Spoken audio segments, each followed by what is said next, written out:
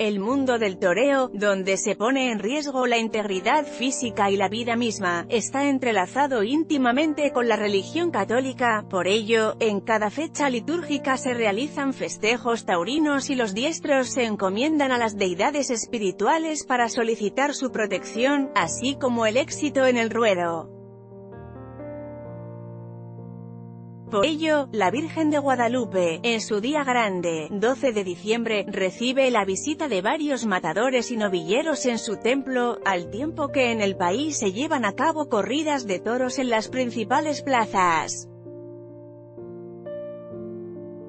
Si bien, la mayoría de los coletas son devotos de la Virgen Morena, hay quienes están identificados como toreros guadalupanos.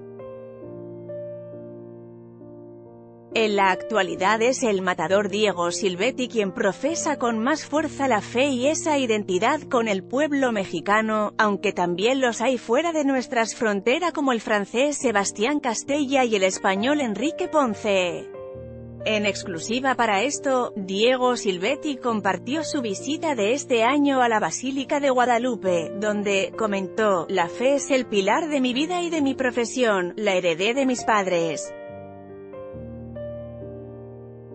Para mi papá, el matador David Silvetti, QEPD, la Virgen de Guadalupe era su mejor apoderada pues en los momentos más difíciles estuvo a su lado y también en los más dulces. Tras una larga ausencia en los ruedos, mi papá reapareció un 12 de diciembre de 1990 en la Plaza México y el cartel la llenó. Por eso, UE a cantar las mañanitas a la basílica, para cumplir una promesa y como agradecimiento.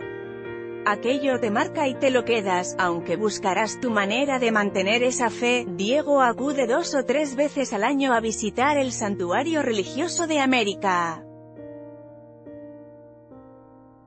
Ha tomado parte en varias corridas guadalupanas, especialmente en León, Guanajuato. De hecho, esta tarde toreará ahí, en esa plaza la luz.